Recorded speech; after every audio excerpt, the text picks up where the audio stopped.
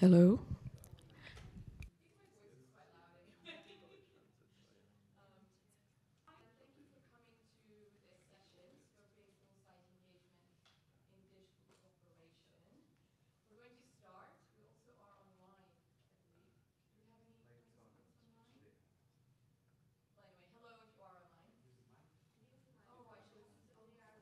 I've forgotten that. Okay.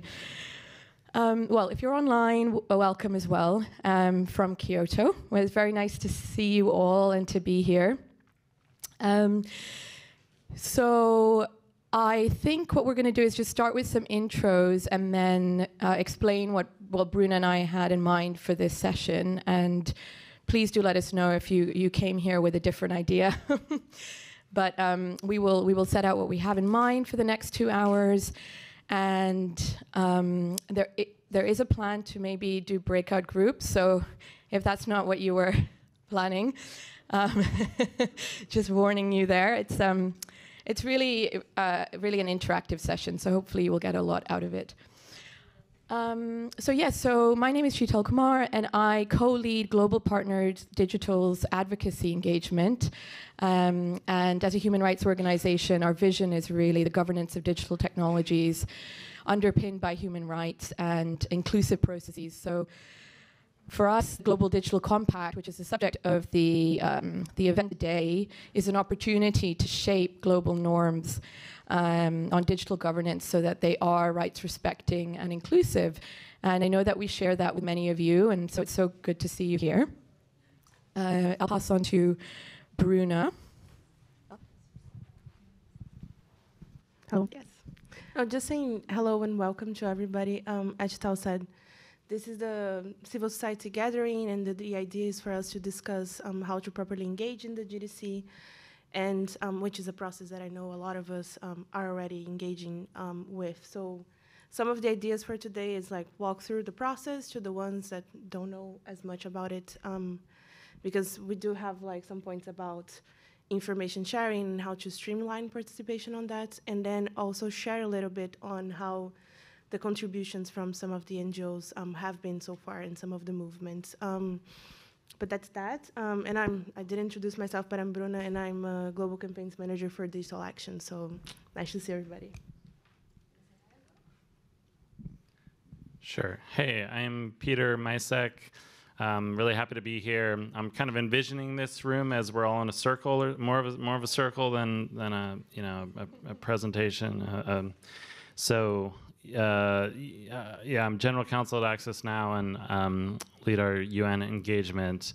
Uh, but I think um, beyond the, the pressing matter of the GDC, we also like to convene uh, civil society um, from digital rights and, and uh, inclusion and equity communities before IGF begins um, every year, uh, this global IGF. And so, um, stemming from the days of the Best Bits Coalition initiative, and uh, you know, through a lot of the organizing that we used to do in person on day zero, uh, we uh, are really happy to convene folks and wanted to make this as like our first first point of connection, and to help folks um, plan for the week ahead and uh, hopefully collaborate and strategize too. So, um, I hope that happens as well. Yeah, thanks for coming.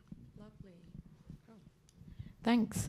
Um, do people want to quickly um, do a round robin and say who you are and where you're from? Um, great. And a fun fact about yourself. No, I'm joking. Don't worry. Um, Thank you so much. Hi, everyone. I'm Aidan Fodolin, fellow with the Alfred Landecker Foundation. Hi, everyone. I'm Laura O'Brien, se- Senior UN Advocacy Officer at Access Now. Hi there, I'm Jutta Kroll from the German Digital Opportunities Foundation. Mainly, my focus is on children's rights in the digital environment. Hi, hello everyone. Valeria Betancourt from the Association for Progressive Communications. Hi everyone, this is Daniela Schnidrig with the Global Partners Digital, Head of Engagement and Advocacy. Uh, hi everyone, Veronica Ferrari, Global Policy Advocacy Coordinator at the Association for Progressive Communications. Hello, I'm Amalia Toledo, Public Policy Specialist for Wikimedia Foundation. Ziski Putz, Senior Movement Advocacy Manager from the Wikimedia Foundation. Jan Gerlach, also Wikimedia Foundation. Um, I support these two. Stephanie Herrera, I'm actually not civil society.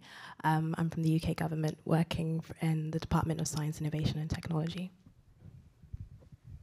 Hi, my name is Shabnam Mojtahedi. I'm legal advisor for digital rights at the International Center for Not-for-Profit Law. Uh, hi, my name is Kasumi Sugimoto. I'm from uh, National Institute of ICT in Japan, and I work for uh, workforce uh, development uh, for cybersecurity. Hi, I'm Marianne Diaz, YID campaigner at Access Now. Hello, I'm Alexandre Costa Barbosa. I'm coordinator at the Homeless Workers Movement in Brazil. Hello, my name is José Renato. I am a founder of the Laboratory of Public Policy and Internet, LAPIN, in Brazil. Hello, my name is Elonnai. I'm the managing director at the Global Network Initiative. Hello, my name is Rafiq Copeland. I'm the Platform Accountability Advisor at Internews. Hi, my name is Ariel McGeed. I'm a program officer for the Asia region with Internews. Hello, I'm Alice. I'm a facilitator for the Brazilian Youth Group.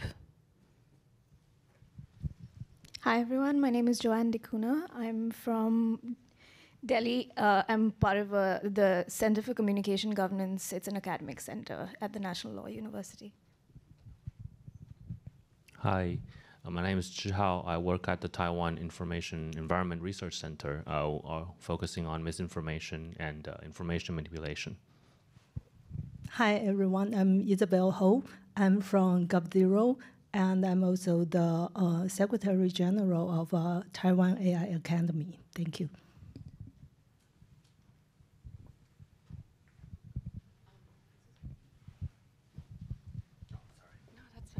Hi, I'm Franziska Jakobs. I'm Digital Governance Advisor at GIZ, German Development Corporation.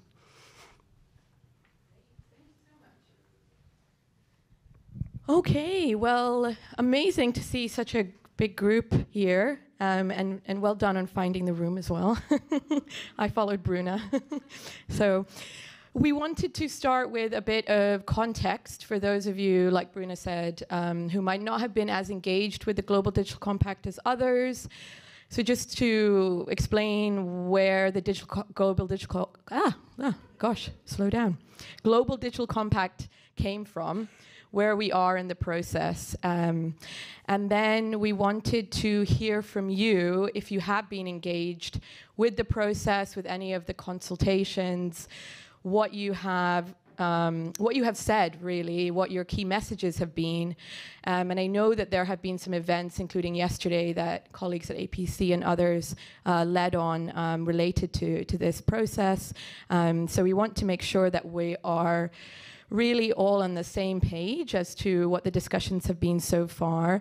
Before we look forward, and um, hopefully we're not being overly ambitious, but what we thought would be a really great output of this meeting is to consider where we have come to and then draw on that and on the issues paper that the co-facilitators of the compact um, have developed. It's short, it's only two pages, but it reflects back the consultations that have already happened.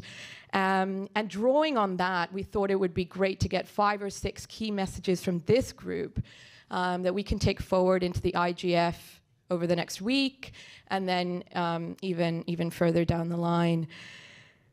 So I hope that sounds good to you. Um, does anybody have any questions, or are you hoping to to achieve something else today?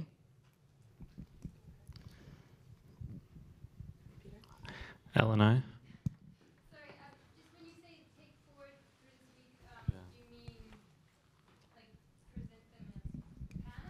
Yes. Yes. Yes.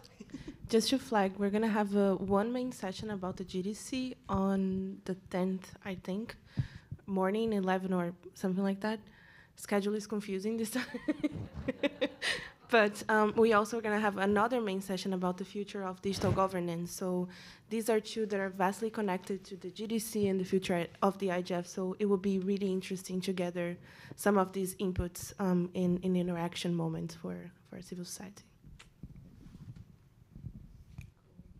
Can I just get a raise of hands of who has heard of the Global Digital Compact? Cool, more than half. And then who's engaged on it? Who's like participated in some of the stuff? Yeah, less than half. Thanks. And some sort of, sort of. Okay, around half, yeah. Okay, which is why we're doing our um, summary of where we have got to so far uh, to begin with. Um, and we actually wanted to pull up, if that's okay, the colleague from, yeah. Um, we wanted to pull up the timeline that is in the UN Secretary General's policy brief from earlier this year. I think it's the next slide. Oh, it's so small, so let me just um, come up here and explain. Um, so yes, so the Global Digital Compact was first referred to in the Secretary General's Roadmap for Digital Cooperation, which was an output of a high-level panel that he appointed. And in that, um, it was suggested that uh, the UN adopt a global digital compact, which would outline shared principles and objectives for an open, secure digital future for all. Um, and so, again, that was referred to in the SG's report in 2022, our common agenda. And from there, kickstarted consultations for what should be in the compact. There was a suggestion for overarching themes that the Global Digital Compact should be structured around, namely um, upholding human rights, and I can't remember the rest, so I'm going to cheat by looking at my notes, um, avoiding internet fragmentation, um, digital connectivity, promoting a trustworthy internet. So a few few themes that were suggested the compact be structured around. And so those consultations ran 2022 um, to 2023. Um, and this year we also had oral consultations, so a number of opportunities to speak to these themes um, through both in person and online consultations. And Peter, I think you were trying to get a sense of who's engaged on that already, and about half of the, the, the people here have, so that's really good to see. And then just um, last year was a um, just to kind of put this in the context of the broader uh, framework within which the compact will sit. Last year, a resolution was adopted by the UN General Assembly for um, the Summit for the Future, which is envisioned for next year to take place in September next year. And as part of that, a pact for the future will be adopted. Within that, it is expected the Global Digital Compact will, will be part of that pact for the future, one of five chapters, I think it is, which will focus on, on digital issues. And the compact will be part of that. So, really, it's an opportunity, um, at least that's how we see it, to reassert um, the importance of a human rights-based uh, and inclusive um, you know, norms that to, to, govern digital digital technologies and digital governance. And I know that there are a number of other key messages that, that others here also want to see reflected in this in this important document. Um, now, where we are is in 2023, of course, um, having had the ministerial in September, the, the preparatory meeting um, for the summit, which will take place next year, a resolution has been adopted which sets out that there are co-facilitators for each of those chapters I mentioned that will be in the pact. And the co-facilitators for the Global Digital Compact are expected to be the same ones that have been running the consultations up until this point. Um, and then the actual negotiations between member states. And it is in the resolution that the consultations for the compact will be intergovernmental. Um, so I think that's another, perhaps something else we can discuss is how to ensure that, although of course the discussions will be intergovernmental, how will they be inclusive of all stakeholders? So that's something we can discuss today. And those are expected to start in January um, and, and continue through to um, June next year, where uh, they will then wrap up, um, and it's expected that there will be a text to adopt um, by the next session of the General Assembly. So that is where we are. Lots of dates, and I hope that that helped. And this this is a timeline which I know is very hard to see, but you can also access it online. Um, let me stop there to see if anyone has any questions, or indeed wants to correct anything I said. Maybe I got something wrong. No, just to add really quick, because um, also the reason why we opted for hosting the civil society gathering on this topic this year is because a lot of the discussions on the GDC they might affect the future of the IGF and and how this fora is moving onwards and and what's coming up next, right? So. Um, you might have heard about like a lot of discussions on what is digital governance, what is internet governance, how do all of these spaces connect with each other, um, what is digital cooperation in this kind of like broader landscape. So um, a lot of the debates surrounding the GDC and, and before that in the roadmap and, and a lot of the discussions on the roundtables, they had some ideas about the IGF Plus and how we were moving forward or how are we moving the IGF towards this more kind of like a strategic and decision making space. So that's also why we opted for adding this to the agenda. And um, one of the points that was brought up at some point was the creation of this new forum, the Digital Cooperation Forum, which would be a little bit um, overlapping with the IGF. So we, we also want to hear a little bit from you guys on what could be the impressions about improving or connecting these spaces or even um, how is it how could the IGF serve this role of helping strengthen multilateral relationships and the UN and the whole discussion about um, the UN 3.0 that um, is also in one of the um, policy briefs. So just to add that. Oh, that's a really good point. Thanks, Bruna. Um, so yes, the future of the IGF is also part of these discussions. Uh, does anyone have any other questions or reflections? Hello to people who've just joined us. Uh, we, yeah, do you want to? Just to say, if anyone wants to come in, there is a mic in the middle of the room, so you can just go there and say your name. we did a round of introductions, so if anyone wants to yell out and say hi, go ahead. Um, yeah, if you just want to wait. Hi everyone, my name is Namrata. I'm from Access Now. I lead our work in South Asia and global work on encryption. Nice to be here. Nice. Hi, I'm Reed, also from Access Now. I work on Rights Code. Sorry for being late. Amazing. No, no, no. Thank you for coming. And we were just doing a um, getting us on the same page as to where we are in the process, uh, where the UN process is in particular. And now we were going to hear from everyone about where they are in terms of their engagement or your engagement in uh, the compact so far, because we don't, we know we're not starting from scratch. With this discussion, a number of us have already engaged, put forward inputs into the consultations, and been very active. Um, and so it'd be really good to hear from you, so we don't, Mhm. we don't, we build on what we've already been doing.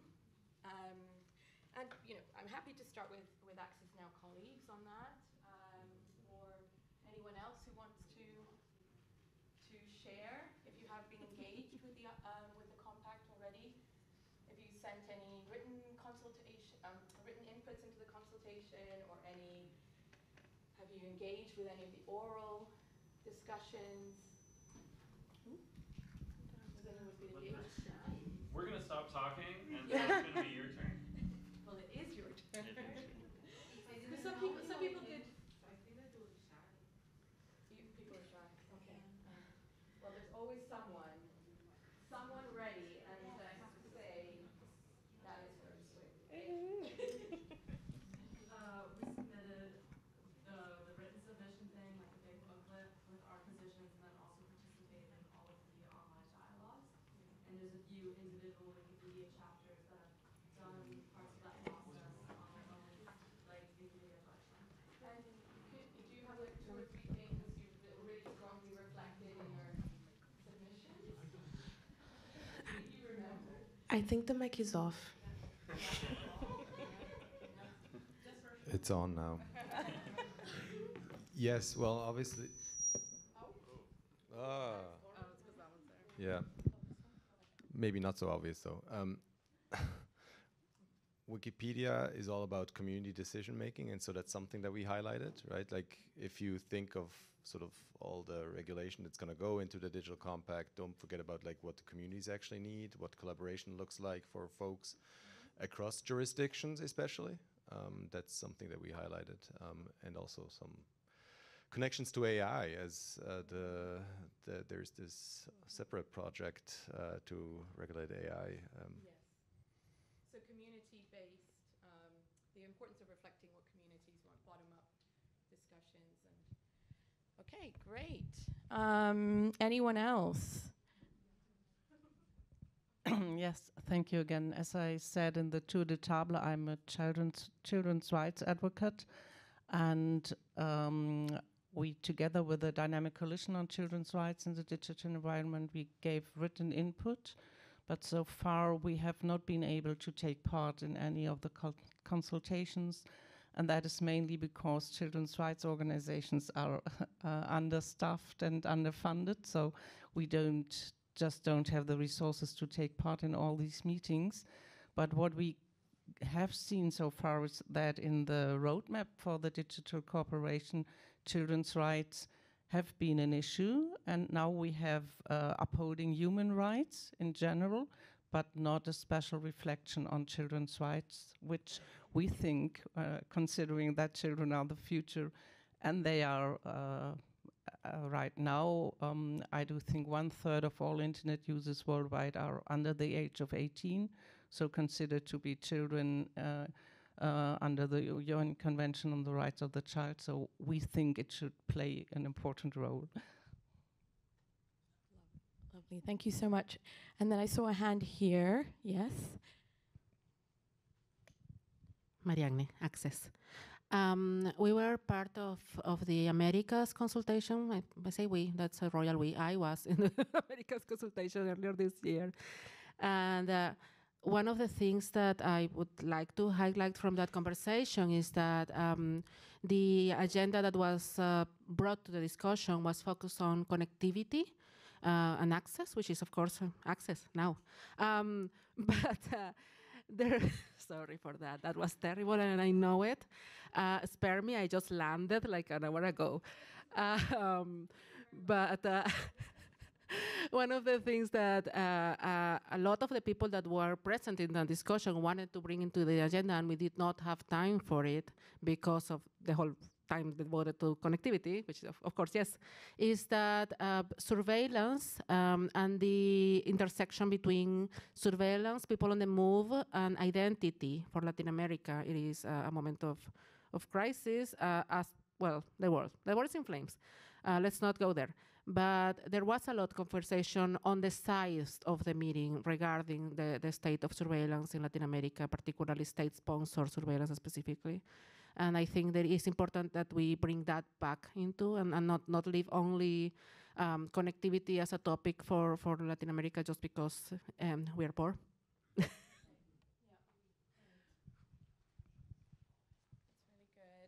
Take notes. I don't know if others are taking notes.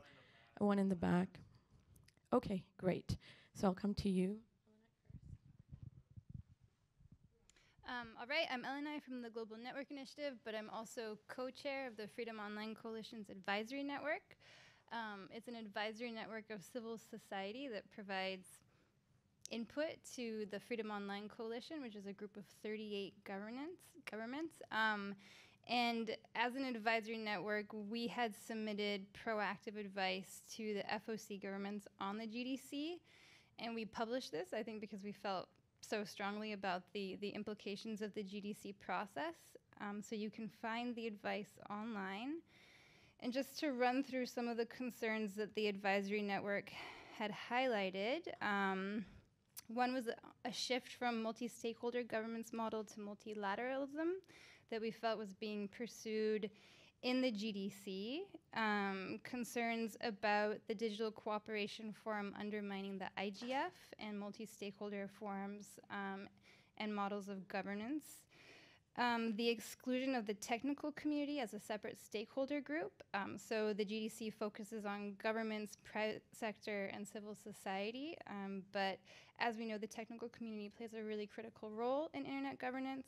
Um, and we felt that that was excluded, and then a focus on big tech business models, as well as a number of procedural concerns, including how fast this process has moved forward. Um, and I think we see in that same trend in a number of initiatives, including with the UN high level expert body on AI that's being put out um, by the Tech Envoy, a lack of meaningful civil society engagement. I know a number of different civil society organizations that felt frustration in trying to give inputs into the GDC process and um, participate. And then the fact that it's been a New York based process, um, which, in the minds of the advisory network members, is a highly politicized, state centered, less inclusive, um, and less experienced with multi stakeholder governance models.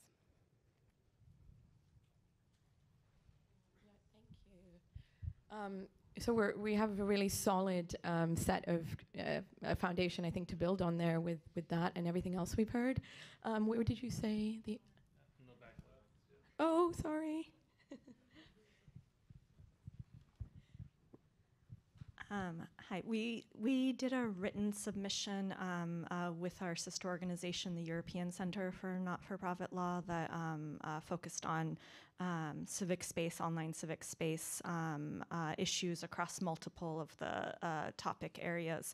Um, and one of the points we raised uh, was kind of the siloing of human rights into one section, and so we we were uh, you know taking a rights-based approach through all the um, all the areas.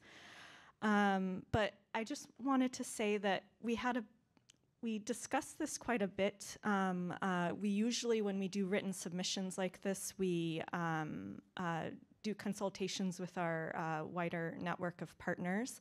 Um, uh, and we were debating whether to do that for this written submission, but the the scope was so broad and it was so unclear what how this was all working or leading um, into you know the final process and then um, and then the you know uh, you know virtual consultations that took place were also kind of chaotic in a way. Um, and so we just really didn't know how to include our broader network um, in the space without feeling like we, we weren't giving them anything concrete uh, to work with. Um, and so I just was really wondering what the vision is moving forward, how we can be um, working together um, as a group more strategically, um, and kind of how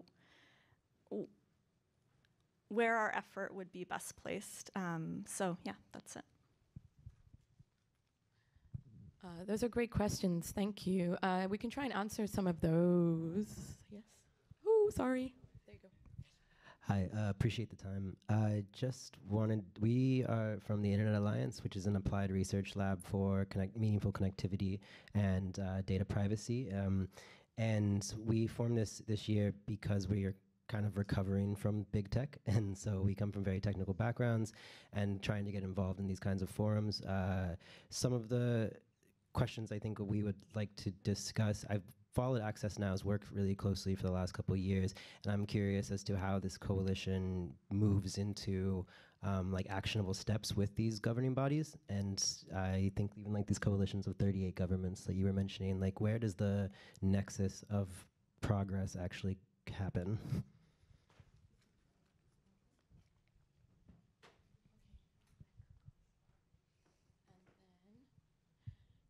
questions.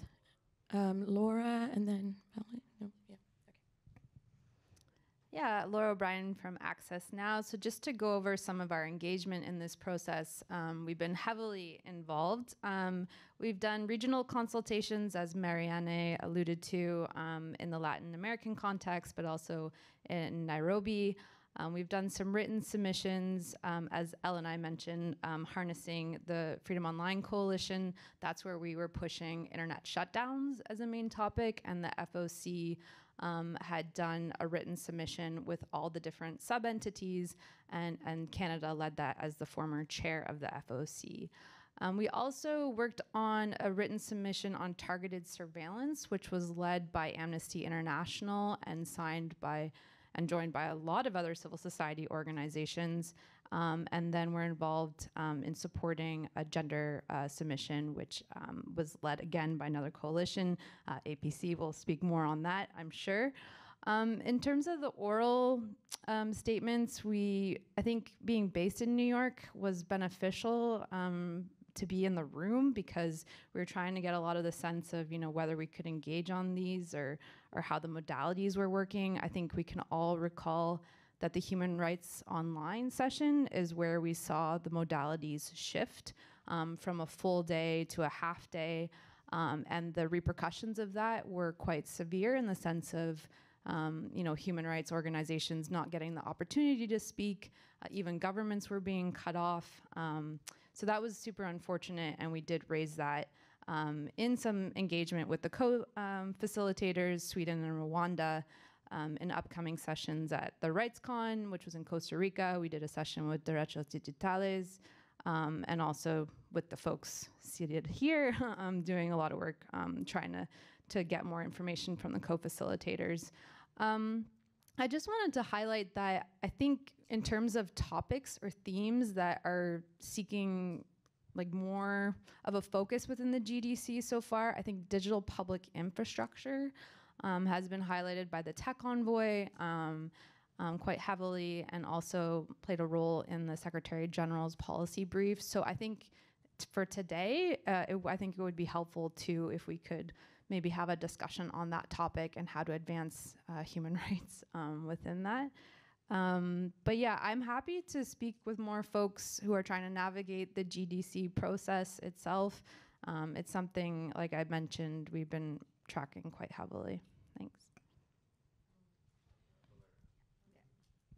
Thank you very much. Let me just provide an overview of our engagement, very similar to what Access Now, Laura from Access Now has, has mentioned. We have been participating since the beginning, engaging with the global online consultations as well as the regional consultations in Asia, uh, Africa, and Latin America.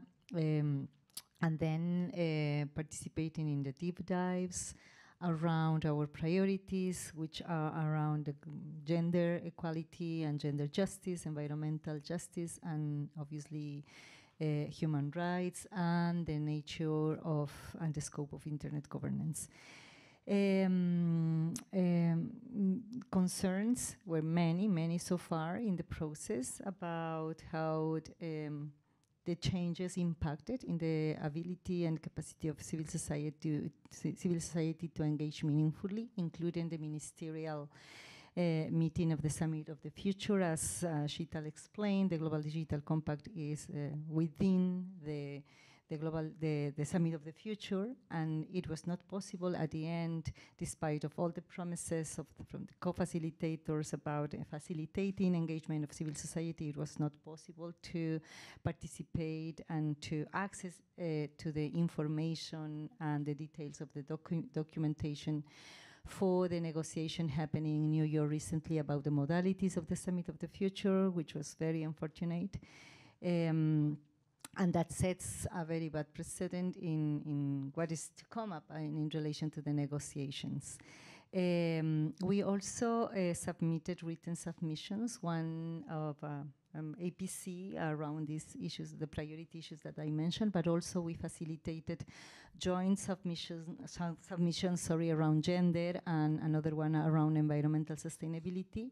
Um, in relation to gender, we have been concerned with the fact that not only in the negotiations so far about the modalities, uh, there are not specific mechanisms to ensure that there is at least gender balance in the participation of the different stakeholders and bringing the civil society voice, but gender as an issue.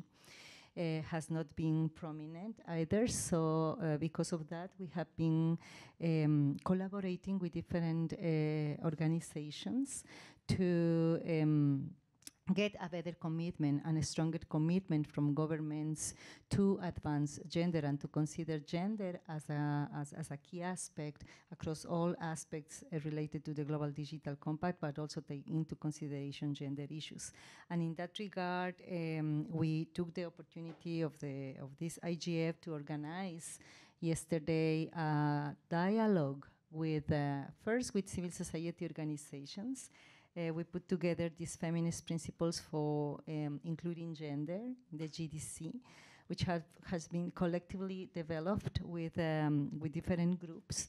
And they were presented yesterday to other civil society organizations, uh, for leverage and obviously for contributions as well, and also to uh, exchange views around the strategies to uh, advance a gender agenda around the GDC. And in the afternoon, uh, governments were invited um, to to have a dialogue and a conversation with us around um, feasible ways in which they could, as part of their own engagement in the process, to help us to advance a gender agenda into the GDC.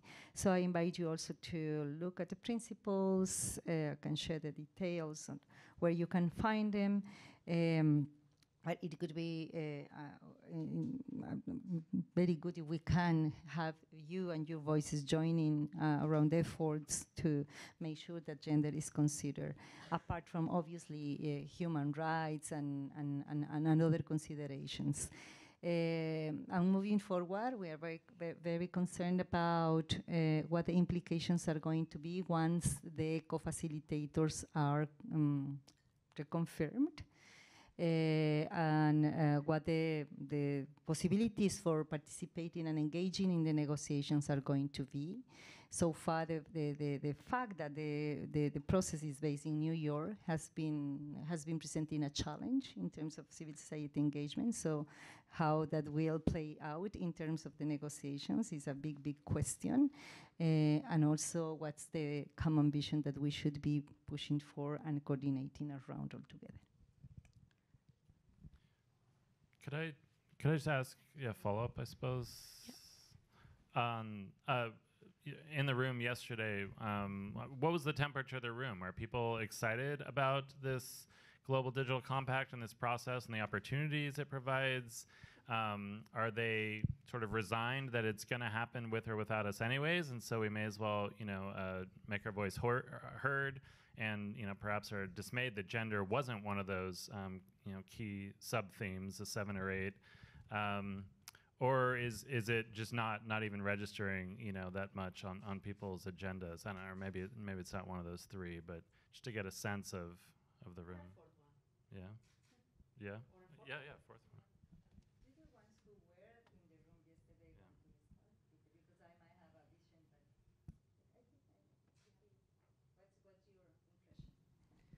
I think we more or less accepted that, right? Like, there's a lot of, because to me, the main impression about the process is um, there's way more question marks than um, information about it, to us at least, right? Like, from the conversations, we had the impression that it's not every member state that is as engaged. Um, we have this kind of like, not focus, but more dominance or even like knowledge coming in from global north um, generally speaking or the ones that are champions in the human rights conversation so that makes it much harder like when you try to engage with delegations like brazil or chile or anything like that right so and a lot of the doubts that at least i felt in the room as well was how are we going to actually ensure that if this is kept as an intergovernmental process the, the missions are going to allow us in, right? Like the modalities question is the main one and the one we have been asking like ever since day zero.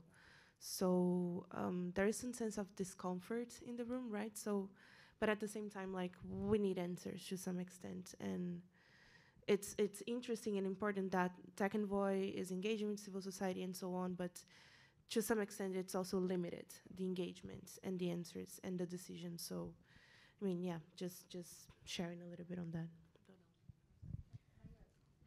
Yes, of course.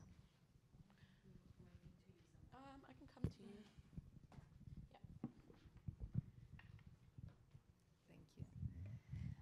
I think there is a high, high level type of engagement of governments in the GDC. Uh, so obviously there is a, a political commitment, perhaps, because it is an intergovernmental process that uh, it is within this bigger umbrella of the Summit of the Future, and I think governments have made commitments. There is a geopolitical dynamic that is also permeating the way in which they engage with the Global Digital Compact. Uh, so yesterday, obviously, the high-level interventions were very positive in relation to their own role and their own commitment with making gender a key consideration. But then the, the big question that was that that uh, was was also brought up is how that is going to take uh, shape, how, it, how, it, how that is going to be translated into practice uh, with the fact that the negotiations are going to start and we don't know how, what, how the negotiations are going to look like. So I think that's the question that remains and that we should keep asking the, the, the, the question. And I think uh, perhaps one, is one step forward uh, yesterday because obviously the, the participants that we had, including the UN Tech Envoy and, and very high level uh, government representatives was that uh, I think it, the, the message is clear that there is expectations at the level of civil society groups for them to facilitate our participation, including through um, making us part of the national delegations, because that's the only way in which we are going to be effectively influencing the process. So I think that point it was was made clear to them and and I, I, hope my interpretation and, and, and what I want to use to put some pressure and demands on them is that their commitment to make gender a key consideration. So if, they, if they really want to do that, they have to work with us in different ways, including making us part of the delegations. Just to add as well, I think the, at least for some of the global majority countries, the elephant in the room is how actually the to me at least the G20 processes are also going to connect with this, right? Because India has made a lot of advance like advancements with the the whole like digital public infrastructure debate within G20, and Brazil is bringing the information integrity into the G20 agenda as well. So. Are these discussions going to be like repeated in both places? Are they going to engage with the G20 first and then like just like revert it back to the to the GDC or Summit of the Future. So another of the on the list of questions, right? So yeah. Okay, um, thank you. So lots of questions. Um, and we, if we haven't answered any of them, please let us know. But we wanted to check as well how everyone's feeling at this point about um, tackling head on the fact that the Global Digital Compact is meant to outline shared principles and objectives for an open, free, and secure digital future for all. And considering everything that everyone has said, um, breaking out into small groups to huddle and consider about two messages each um, to then discuss and perhaps see whether we can agree on. Um, and as I mentioned at the beginning, for those of you who weren't here, the idea is that we can take forward those um, and reflect them in the discussions um, in, in, the upcoming week and indeed in the process going forward. And um, it would be great before we do that as well to share that we've looked at the issues paper that the co-facilitators issued um, about a month ago, which was a reflection of, it's just two pages, it's not very long, but it's along the themes, and in fact, it refers to digital public infrastructure. Um, of the compact that have been recommended. And so there are a number of, well, reflections really, um, and it's very concise. It also doesn't refer to the Digital Cooperation Forum, which is an interesting reflection of just how strong the messaging around the Internet Governance Forum was in the oral and written consultations that were received. So it's it's it's quite a good basis, I think, uh, for um, for discussion. So the breakout groups can draw on what you've heard on your own work, but also perhaps look at the issues paper that the co-facilitators have developed and suggest ways of strengthening it, um, strengthening the gender element, strengthening you know the community element, um, whatever you think, because in that way, it's already been put out there in the world. It's something that's been developed. It's it's building on um, what what has already been discussed. So. Uh, in essence, what we were suggesting is that we break out into little groups. We use the basis of you know, what the co-facilitators have put out, what you have said, um, draw out a couple of key messages, and come back together and see whether there's anything there we can agree on um, that we all want to reflect um, in the discussions around the GDC. Going forward, is what do people think about that? Because we don't have to do that. We can do something else. Do we hate breakouts at this point? Yes, right. I mean, I could get a feeling from your faces. Well, we do. We, we need participation beyond. Yeah. Right, this So table, yeah. a way of well, what we, we could do, I supp- I mean, th- so let's think of some options. I mean, if you really, if we don't want to do breakout groups, we could go through the issues paper, para by para, and hear your reflections on it and how to strengthen it. It's okay. I don't know whether that's sarcastic or not. I genuinely can't tell. more options, more. Ho-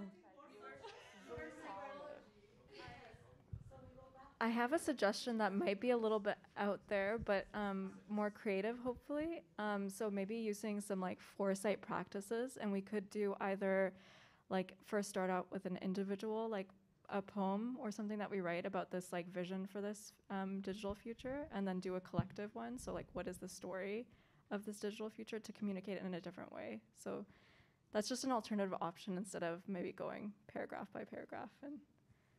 And would you help us with that? We, if we, people decide they want to do that, okay.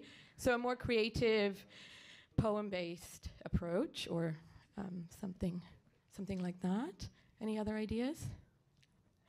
Or request, Maybe not, not an idea, but a request that we can touch upon issues of related to the process as such, so our key concerns in relation to the process, and perhaps perhaps also the key concerns in relation to the issues, because we know no what the issues are, the tracks, the thematic tracks. So, what our key concerns in relation to those moving forward. So maybe we can start with the round, right, of like key concerns or even um, criticism of the process. I'm aware that this is a very diplomatic space, but yeah, yeah.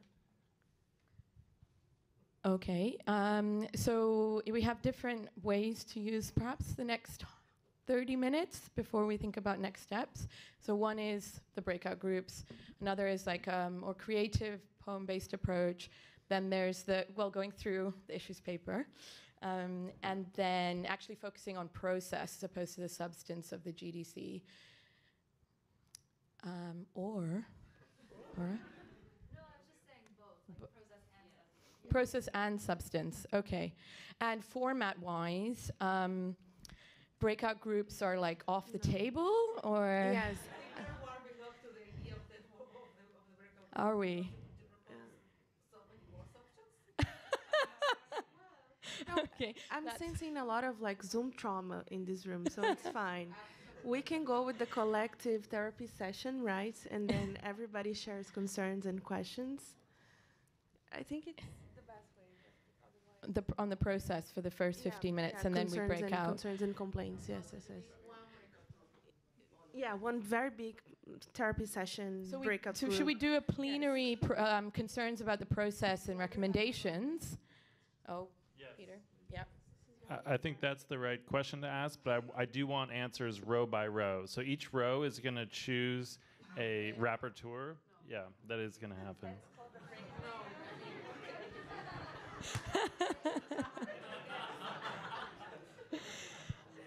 um, Ellen, yes, go ahead. Oh, do you want to? I would just say, um, at least I'm really interested in hearing, I don't know, maybe this will come in the next step session, but like how we as a group can start to coordinate. I think there's some really Yes. There's some really I- key things at stake right now with the GDC and other, um, other internet governance related processes. We're talking Okay. about the different vision of internet. Yeah. As civil society, take, you know, advantage of the fact that we're all in this together and try to coordinate around something. Because I've heard a lot of libraries. Too hard in this room.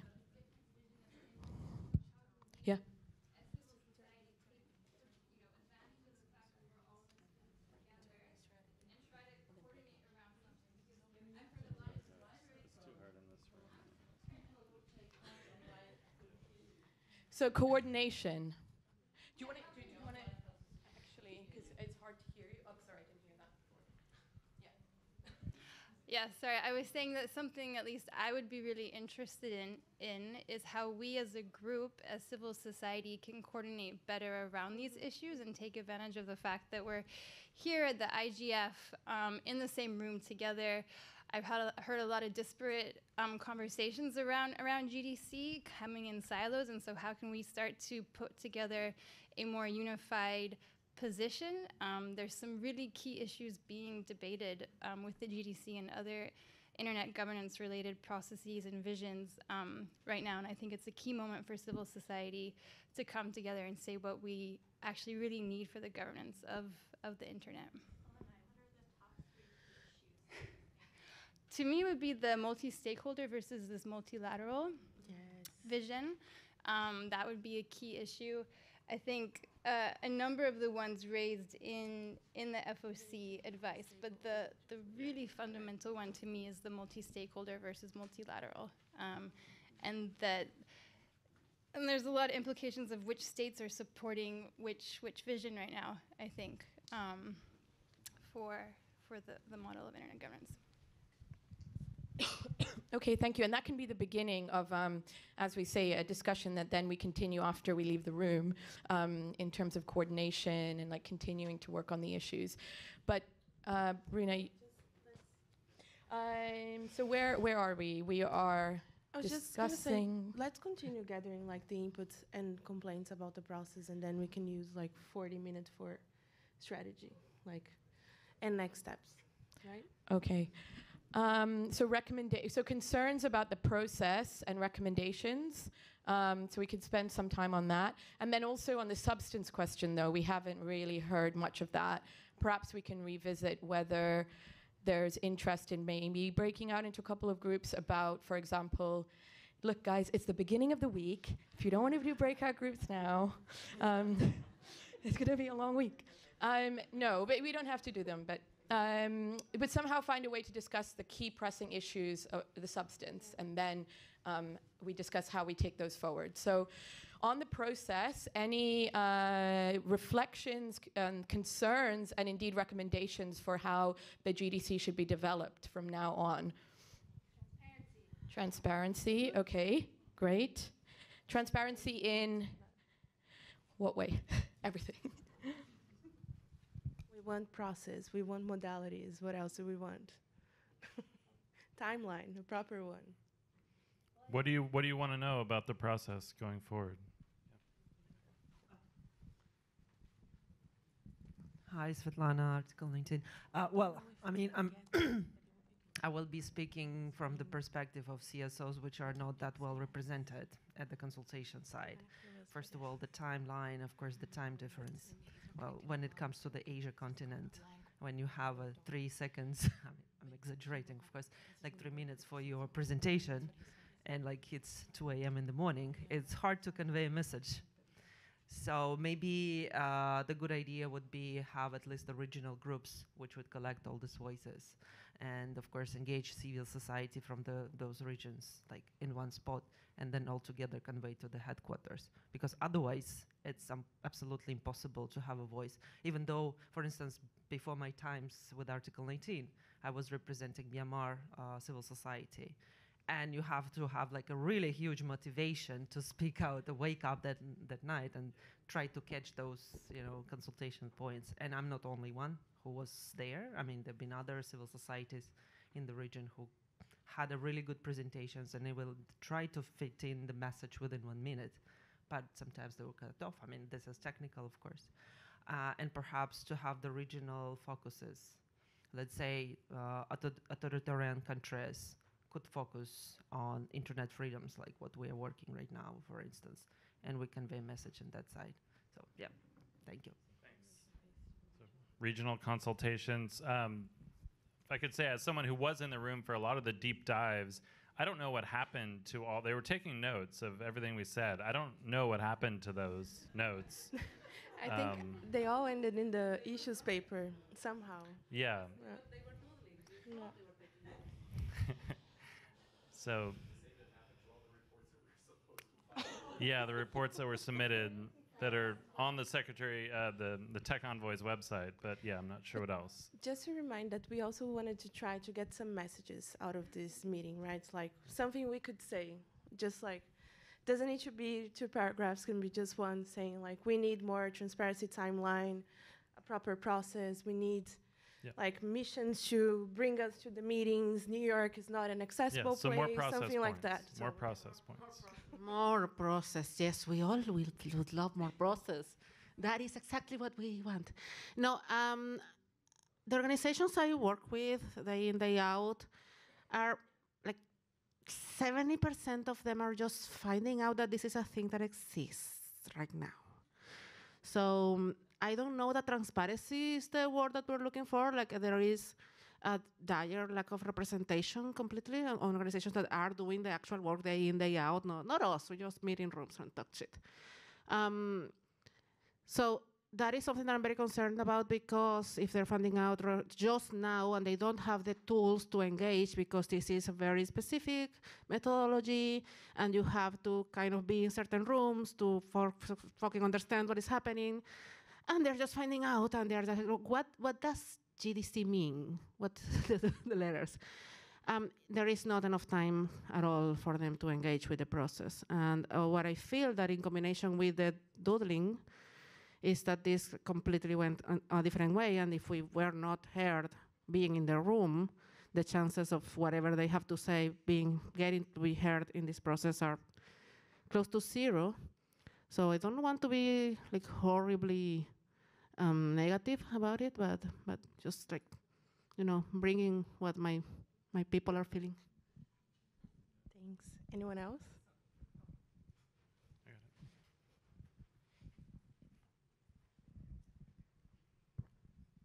Thanks. Um, maybe building on what was shared, I feel like um, there's this exclusion um, by design in the process. So, like, even the notes not being shared, because for me, one of the big problems is that there's just a lack of coherence across the board with these different priorities. So, like, we have this priority about like the digital inclusion and digitalization or digital transform- transformation very vaguely defined, being pushed within, like, for example, the UN system that conflicts with our climate action goals.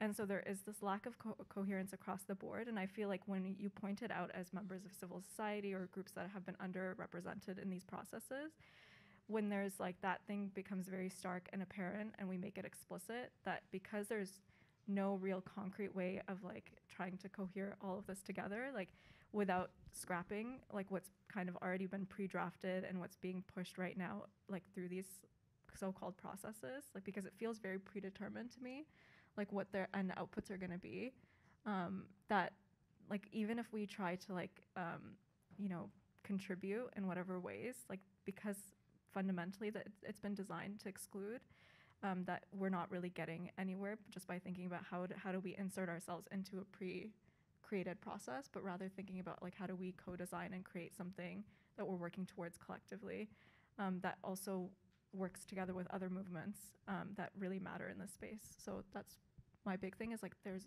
a total lack of coherence lack of co-design um, and it's really undermining our agency at an individual and collective level Thanks. Anyone else? Yeah, I think part of the process that's already been alluded to is um, just the feedback loop, like the need for a feedback loop of like what, um, how the inputs are um, are being used or are processed internally. It, I mean, it's not unique to the GDC. I mean, anyone who's contributed to the UN processes know it's it's a black hole sometimes of information. Um, but uh, and then second, I think for me, and I don't think we're going to get that from the co-facilitators, um, but uh, I'd like to like basically what Ella and I was talking about. Um, what's at stake with this GDC? Like, why is it important, and why should uh, you know partners care? Um, our, why should our networks care about this? Um, and uh, and especially with all the different processes that are going on, there's so many different frameworks being discussed. Civil society is being asked to contribute to a lot of them, um, and it's like it's overwhelming. And so like why why does this process matter? And why should uh, uh, why should we be paying close attention to it? I think we need to kind of come up with that maybe internally too. Some of the the questions we're asking um, in the main session, or we suggested as a main session, like policy questions for this week, is how member states are going to ensure the buy-in from all stakeholders, right? Because we're talking about the GDC like as a broader kind of space or anything like that, but it's also something that's going to discuss the code of conduct for information integrity. So how are they ensuring like big tech is actually doing the buy-in into that conversation? Like if we, civil society, are, are also excluded from this conversation, how are we going to enforce that together with member states? So I think there's a lot of questions again about the follow-up steps and, and what's at stake, in fact, because it's not just um, the future of the IGF or what the DCF is going to be, or whether multi-stakeholder is going to be dropped off as a participation tool, and we're going to move back to a multilateral, mostly kind of system. But there is a lot of follow-up questions in that way, so plus one on that. Could I just ask, does anyone think a new annual forum on digital cooperation is based in New York is a good idea, is something that we that we need? Yeah, I do too. Um, somebody want to speak in, in favor of it? Yeah?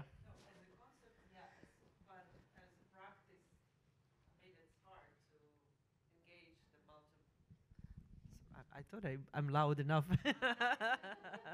well, as a concept, of course, it's um, not a bad idea, but in terms of like practicality, uh, it should be spread it around the regions. Again, I'm like I'm for inclusion of the variety of civil societies and not only civil society which works with the digital aspects.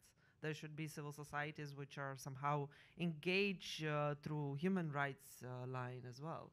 And New York is it's too far, it's too expensive as well. Yeah. All right. But so I think we have rough consensus that civil society does not need a new annual space. Apart from me. All right. So, yeah. Um, other process points we want to get at. We have regionalization. We have feedback fatigue. I just would like to know. We talk about multi multi stakeholders. Obviously, we're new here, and um, but we're coming from a really technical background, and it's just not super clear how a technical community or multi or stakeholder could kind of help. I don't know if anyone wants a two finger on that. I, I just wanted to answer to the previous speaker from the back. Um, that I do think when we focus on uh, civil society that is engaged in human rights, we still have a lack of competence of kind of digital literacy. Many human rights organizations are not very familiar what digital environment means to human rights. Although we are here at the IGF, where it's very present and in front of our head, it's not in general that human rights organizations are uh, enough familiar with, with digital environment and what it means. So uh, we still need some kind of training for, for uh, civil society organizations, I think.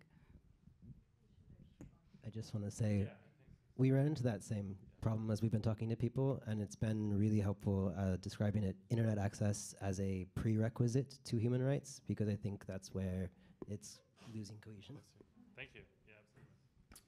I want to advocate for um, um, very proactive um, engagement of uh, the technical community. Because there is a setback in relation to the role that the technical community could play and should play and has been playing in relation to internet governance and global digital cooperation.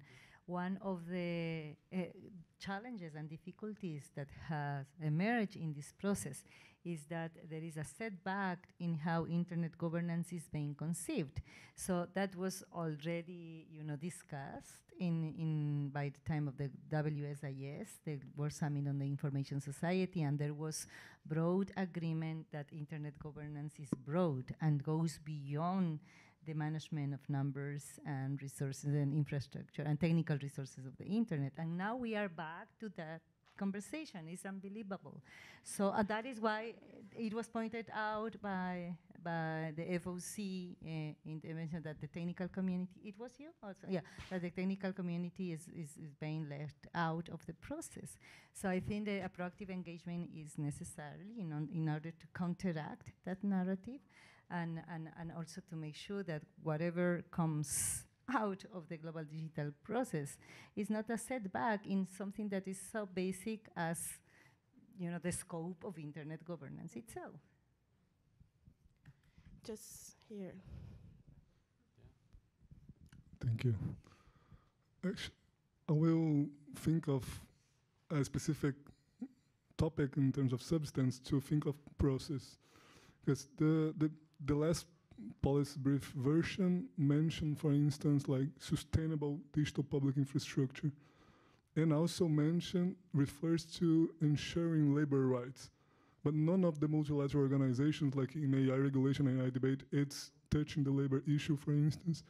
Or even in the digital public infrastructure discussion, no one mentions sustainability on that. Or like carbon footprints for internet infrastructure, or even digital technologies one. So I was wondering, like, until the launching of their common future agenda in one year ahead, what, what can really be done that civil society can like bring back these really important elements that I think from the document to put, be put in practice uh, uh from, from this multilateral organization somehow. Thank you.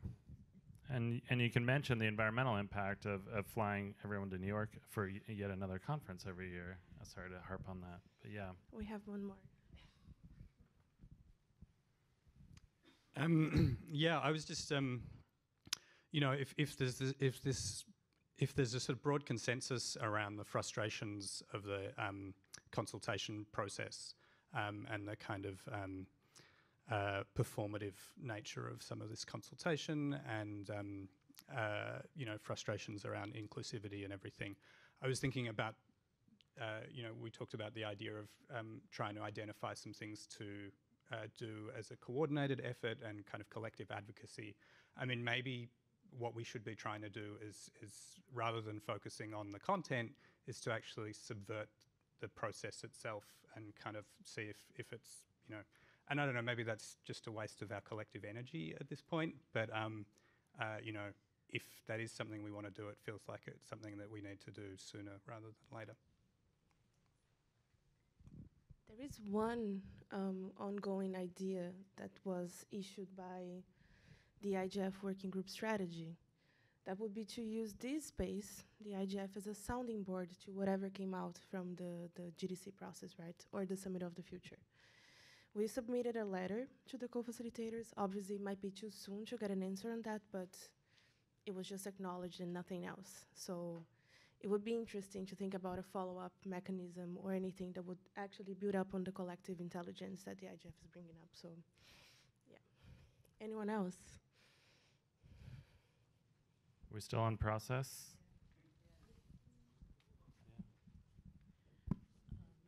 Yeah, we can reflect back some of the comments we've heard about process and see whether we want to um, cohere them or like uh, maybe uh, uh, in some way um, agree to them. Uh, um, so one point that was made was around the need for transparency. So transparency in terms of process uh, is really key.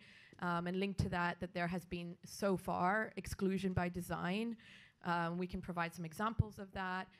The need for more coherence and working together, and also the need for connection with other groups and movements. Um, so I think labor rights and sustainability um, and environmental issues being linked is important. And then the need for a feedback lo loop. So that's links to the transparency point, the primacy of a multi-stakeholder approach and the importance of proactive engagement of the technical community and reflecting the real scope of internet governance, not a very limited scope.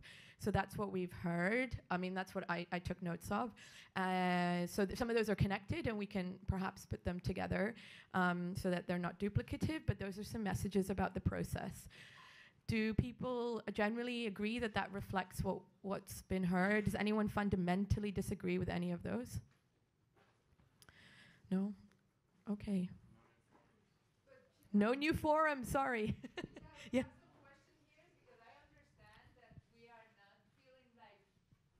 no new. I understand that we don't feel like the process is being fair or open, transparent, and so on. But we are just wondering here, the Wikimedians. We complain about this, but it's not too late to hack the process. Uh, what are our chances are change, or it's just to speak out and you know let them know that we are pissed off about this. yeah. Well, I think that's a good question, and my understanding is that the co-facilitators are now tasked with holding consultations, um, and those are intergovernmental. But it's up to them, as it is for any all the co-facilitators that will be appointed for the chapters of the summit. Uh, will need to run consultations, so we can do our own advocacy with. Um, we're likely to be Sweden and Rwanda, I understand. But the co-facilitators, we can take their ear. I think at this point we have an opportunity. We did do that before, and they did respond, um, and they set up a civil society consultation, which they um, set up for three hours just to hear um, the perspectives of civil society. So they set up an online consultation once we shared concerns before. So I think there is, to answer your question, Amalia, just um, I don't, I can't say definitely it will make a difference, but I think we're at a critical juncture where we can put out some recommendations, the concerns, and then some recommendations, and, and really try and speak with a loud and collective voice to shape their how they will do the process. And what Valeria was saying earlier as well, like if the process is going to be kept as an intergovernmental one, then the way out might be ask for delegations to include us, just like the ITU. So it's one. Yes, I think we can put forward expectations or demands even. Yes. Well, do we know when the first draft is going to be released and who's drafting it? But before we go, I want to respond to Amalia because I think it's a very important question. And I do think that we have to see, I want to respond to you. I, I think what we have to, obviously the GDC is important, but we have to look beyond the GDC and understand that this is a very particular moment in which the proximity of the WSIS plus 20 review is also going to determine how the digital future is going to be shaped. Governments have just had a Sustainable Development Summit like days ago, and they have agreed an agenda on how to accelerate the implementation of the Sustainable Development Goals. So there are these different processes happening, and the GDC in the and they are not connecting. So I think we have to go uh, to, to, to see beyond. So it is not just only uh, how to engage and make sure that we are we are being heard in rel in relation to the Global Digital Compact. It's also about the role that we can play as civil society to connect those processes. Because at the end of the day, they uh, the, the UN agencies are competing about leadership for these processes, how, how those processes are going to, to connect. The governments are being appointed to facilitate those processes. We should also be demanding these connections because all of them have to do with uh, shaping the digital future and the governance and in this broader framework of the global digital cooperation. So I think that's how we should approach our engagement in the global digital compact and keep pushing for establishment of synergies between those different yeah. processes.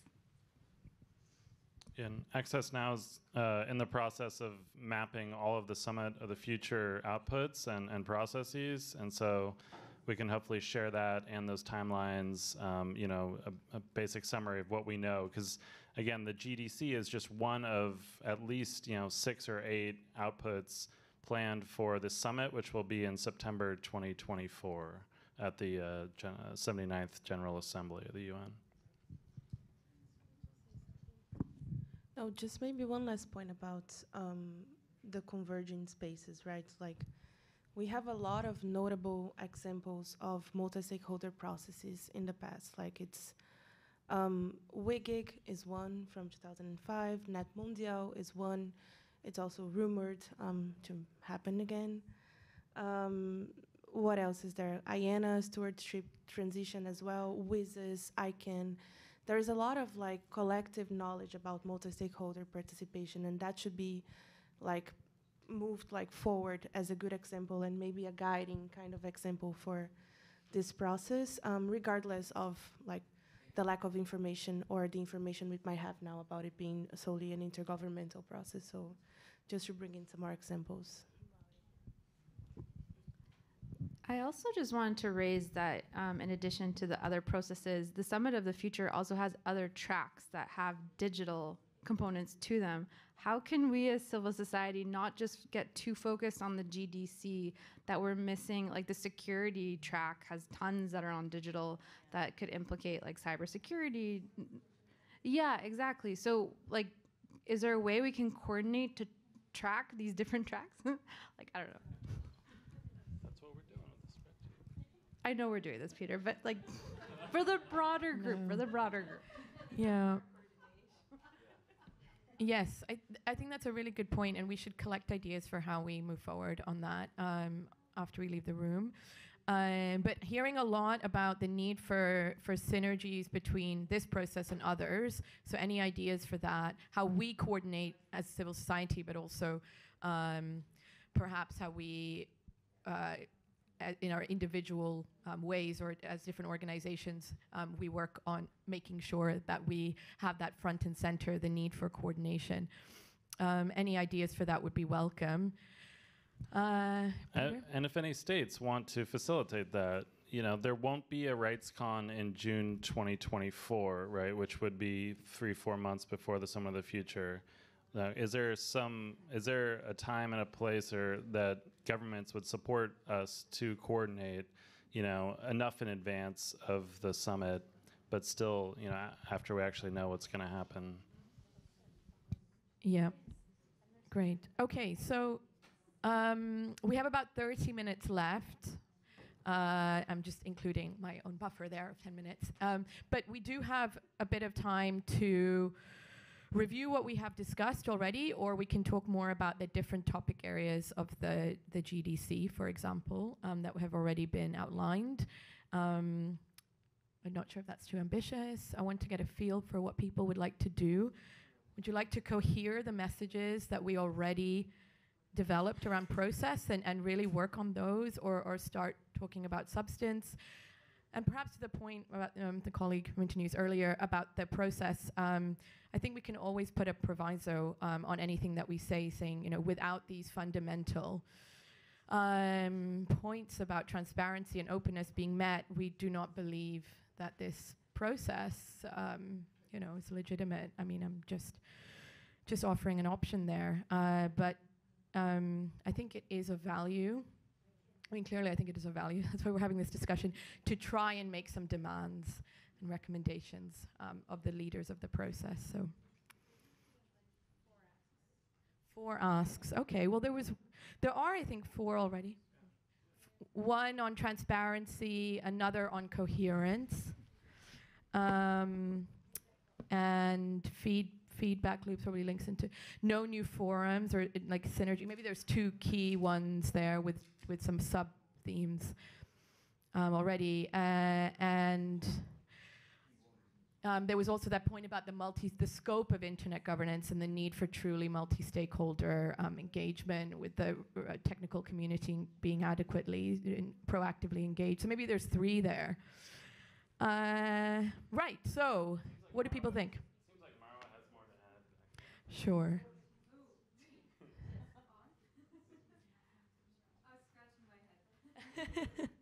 so is anything coming out of, of that, like the scratching on the head? Any thoughts you want to share, or you're good? Okay, not yet. Okay. Um, yes, Peter, what were you going to say? Let's move to substantive issues. Okay, okay.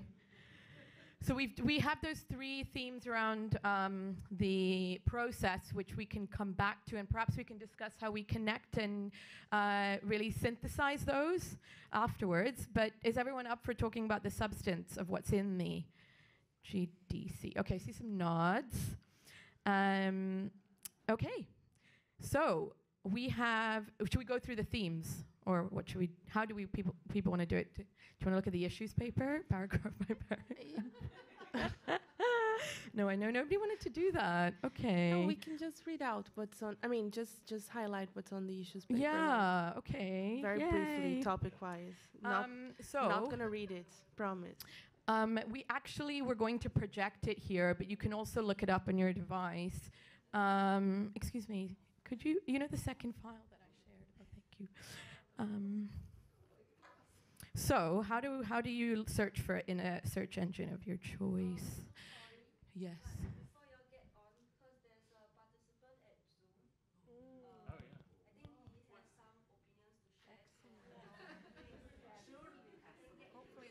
Yes, please. okay. The remote moderator, thank you. Um, Sorry.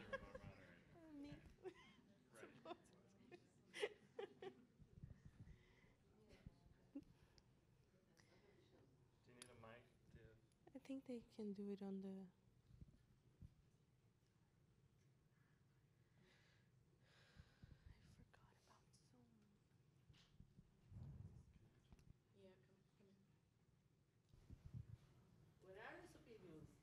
Hello.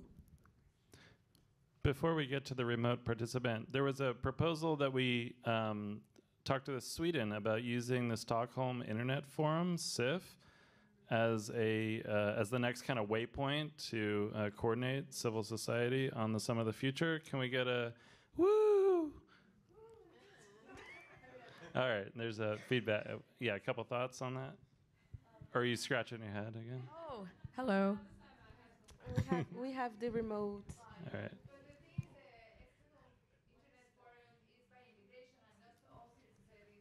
Okay. We can Mm. come back to that. We have Timothy on the line. Timothy, can you hear us? Okay, we can't hear you. Can we get the remote? Timothy, we cannot hear you. Can you hear Can me you now? hear us? I can, I can see the microphone Oh, yes. going. but Yeah, I cannot- welcome. Yes, you are there. Nice to. Hello, all. I'm in Australia. So I've been working for 13 years or so on mostly W3C work that led to the credentials and the digital identity as you understand it, and read write web, which is now known as Solid, and things relating to my data, all those sorts of things.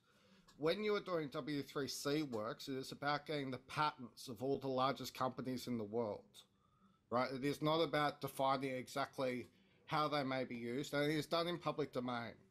So the really horrible human rights use cases, the ones about human trafficking, the ones about people who are left with nothing, the ones that are about children, you cannot do in the public domain. And they're not in the interest of large companies who are very focused on payments. So in my view, there is the, been a rush by a group of um, participants to commercialize a particular type of outcome that do not support human rights very well and does not easily support the ability to support what's called personal ontology. So that is the idea that you have an artificial intelligent agent that is running on your laptop that knows everything about you and is able to help you with your healthcare, with your well-being, understanding which herbs you might be eating to improve your diet, using the commons of the world, the ability to have relationships with one another without a platform mediator who is issuing mandates in, in their terms of service agreement about how you know about the conditions upon which you're allowed to have relationships with one another.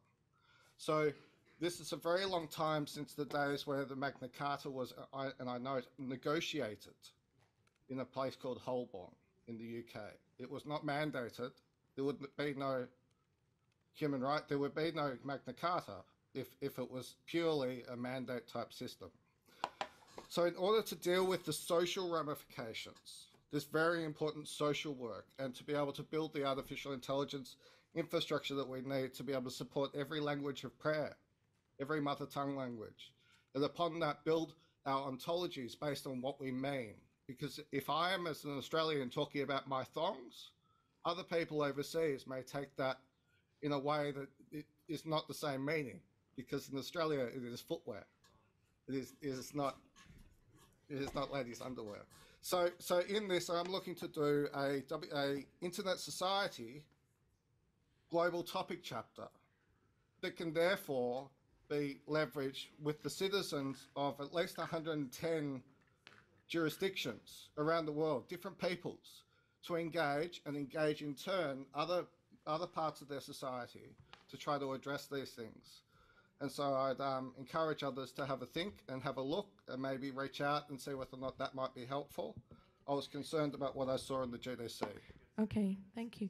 Um, yes, so thank you for coming in. Uh, I think a lot of what you said about the need um, to meaningfully reflect um, a range of perspectives is very important. And we want to do that perhaps by looking at the substance, which I'm looking at the issues paper, and I know people didn't want to go through it. Um, but I think it is, uh, after all the work that many have done on um, the consultations, albeit you know they weren't very open and inclusive as they could have been, um, an interesting springboard. Um, and so, if um, excuse me, sorry, uh, we could um, put that up, or you can look it up on your device. We can go through it just to see what has been already said and get some some thoughts from you, some reflections. Perhaps we can spend a couple of minutes on each um, paragraph. Um, set up. I promise it's going to be really fun. Actually, I can't promise that, but anyway, we're going to try. Um, d- could we put could we put up the sec? Yes, and if we can zoom in.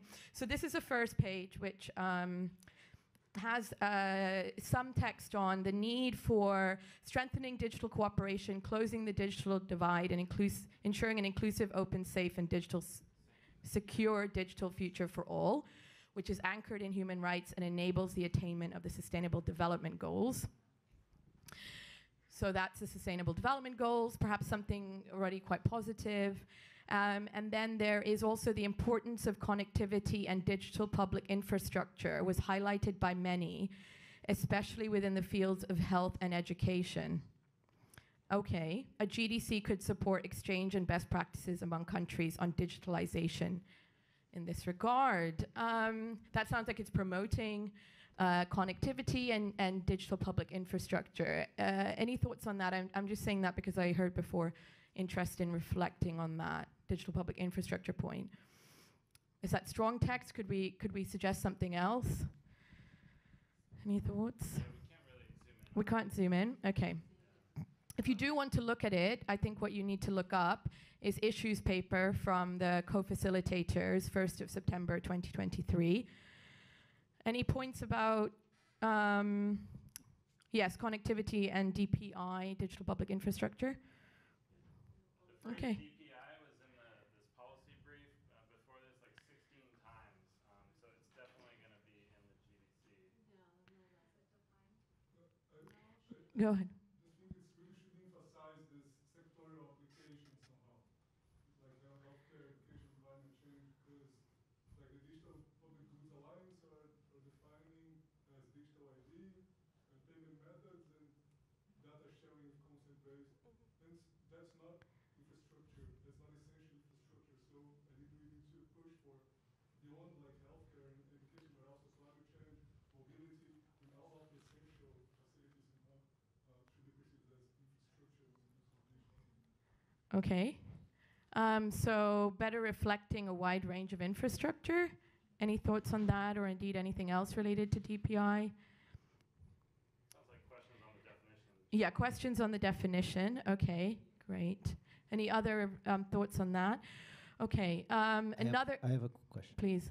There doesn't seem to be anything that says because it's all like in this idea of the commons, but there's nothing about like responsible development of the technology being used. It seems I'm like for instance these DID programs that would come out of the uh, tracking of and giving people rights.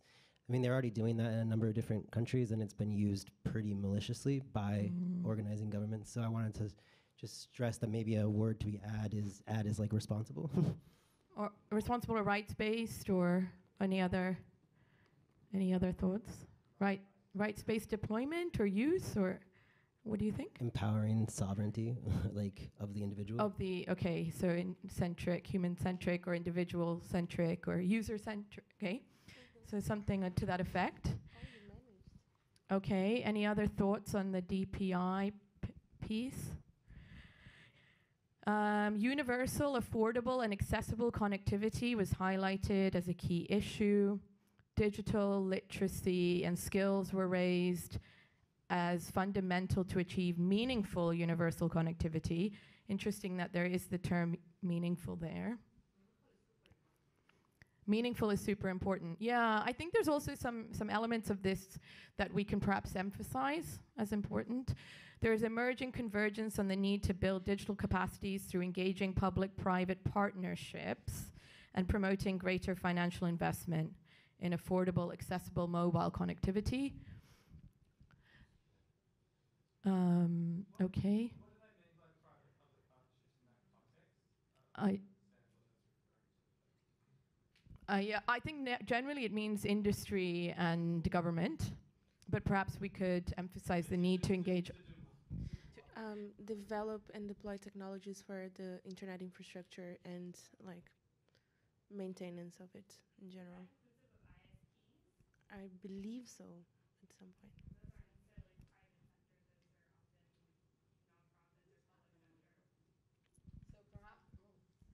Perhaps we can emphasize the point that it should be all stakeholders or what, um, okay. I don't know if we can note that. Oh, are we noting these? Um, okay, great. Um, thank you. Are hard at work, I know. Um, okay, so then if we move, okay, anyone else on the public-private? Yes, at the back.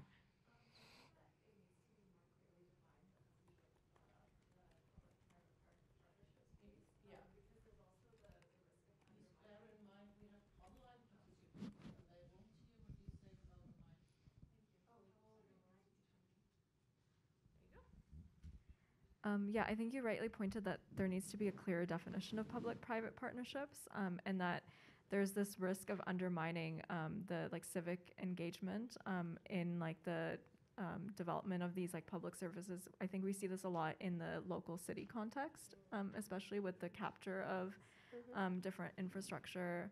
Um, exactly, the whole smart cities thing that's um, being, I think, amongst us in the room, um, criti- critically um, assessed, but not necessarily at a more public, um, like wider global scale. Yeah, that's a really key point. Thank you. Yeah, and just just uh, specifically around like any anything to do with the public sphere and and um, you know public square and whatever being privatized is kind of rings alarm bells. So um, I don't know that that's necessarily a problem, but I just yeah, private public partnerships are not necessarily a good thing. Yeah. So truly comprehensive and inclusive. Public-private partnerships need to reflect the engagement of all stakeholders, something to that effect. Any any other points on this? Okay, um, and then what we have here um, in the next paragraph is the importance of an open, free, and globally accessible internet. The significance of interoperable internet standards and protocols were emphasized. Reference to the importance of the Tunis agenda was made. There is broad consensus that the Internet Governance Forum plays and should continue to play a key role in promoting the global and interoperable nature and governance of the Internet. I'll just add that this part was the part about fragmentation that was moved on to internet governance or digital cooperation. So it's all kind of bundled up together right now. So the first line it's definitely avoid internet fragmentation, and the second one is the one that talks about the processes and convergence, and um, better coordination between them and avoiding duplication as well. So this is you're saying this is success of our input into the It is, it is, it is, Uh, it is. I think so. I mean, to me, that's the, the, the main part that shows that the co-facilitators actually listened to the community, right? Like reinforcing the IGF. Yeah, and on that point, I just want to emphasize that I think when we're giving any feedback to the co facilitators, we should include the positives that we're noticing in this, not just the negatives, because we've received feedback in the past that we do need to, you know, be more mindful of like emphasizing the good and not just focusing on the negative. So I think that this this point in particular is something we should lead with about um, how we were happy to see that and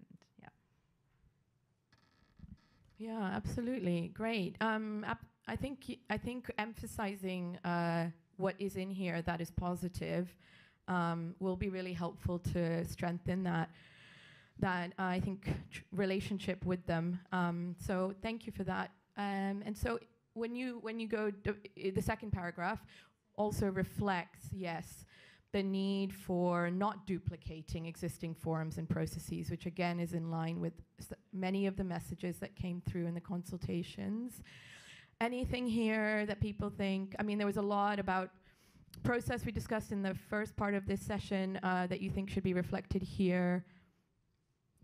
Um, yeah, Bruna? Yeah, my suggestion for this one was just to think about the follow-up mechanisms, right? Like, there's the proposal for the IGF as one, CIF, as I'm seeing, could be another one. Um, would there be any kind of like concerns about using any of these spaces as a follow-up kind of space or discussion or anything like that? Do we have an idea of what do we envision as a follow-up for the GDC? Oh, are you saying that we should perhaps say the IGF could play a role in that, or That's what the, the Uh. WG strategy asks, but there is also the idea of CIF, so or using those spaces for discussions. any thoughts on what role the IGF could play, or any other forum in the implementation of a future compact? Do people think? Yeah, Valerie.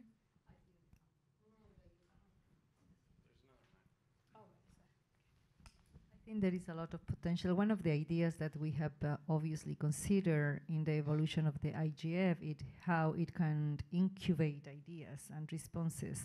And the policy networks, the dynamic coalitions, and the other intersectional mechanisms are definitely ways in which we can suggest that the IGF uh, provides some guidance on, on, on the implementation and the monitoring of the of the Global Digital Compact. Not necessarily to be the monitoring body, but definitely to uh, inform, no, at least the, the type of indicators, the type of evidence that should be produced if we want the GDC to be monitored properly, no, in relation to the principles that will be adopted.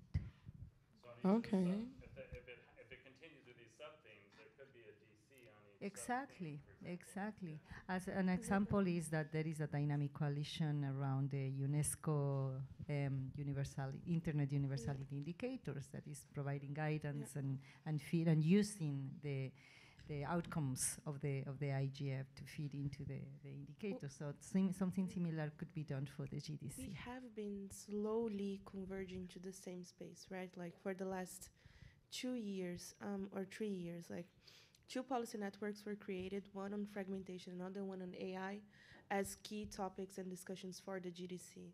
The whole discussion and focus for this IGF on digital cooperation and governance is also in light of that. Like we want to make the agenda more like fine-tuned with the process to use the space for bringing in proper input. But I, I agree, like we need to move on in terms of like bringing in more more um, suggestions.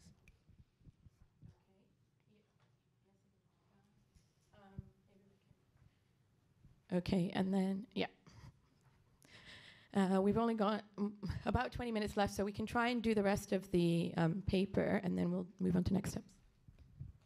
Um, I wanted to add, I think we need to qualify um, what we mean by interoperable nature, um, because uh, that's also being pushed by the different like surveillance um, organizations. Um, we see that a lot in like the European context, for example, and it's affecting displaced persons and migrants in particular.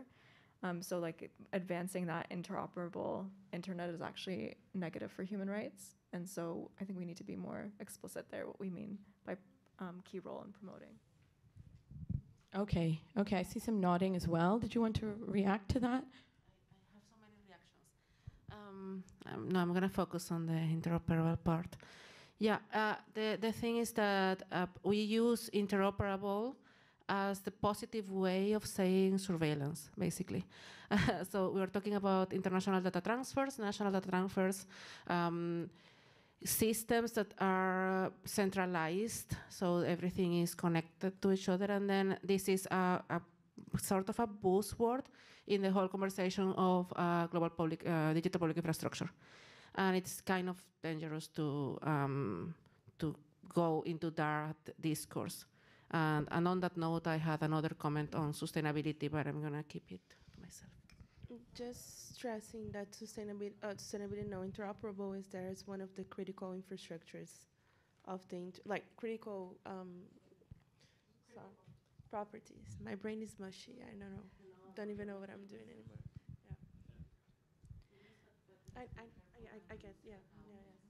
We need to flip it a little bit.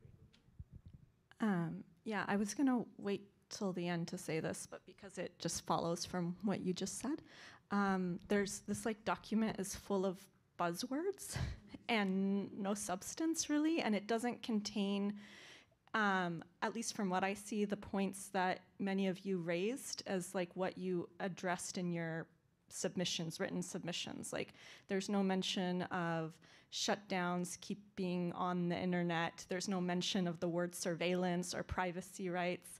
Um, and there's a lot of, like you just said, problematic issues contained in nice buzzwords like digital ID within the framework of DPI.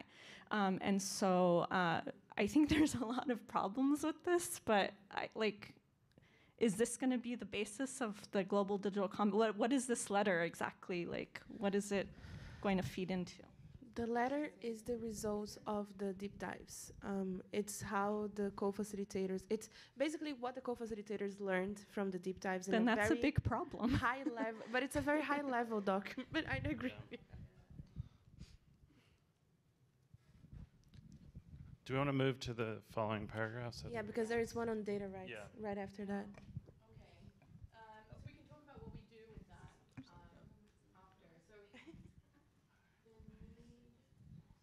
Um, yeah, on the on the topic of um, interoperability and the open, free, and globally accessible internet stuff, I I wanted to echo the the buzzwords, and I thought maybe a word that could counteract some of these buzzwords would be if, and you guys had mentioned kind of being more forceful in in discussions.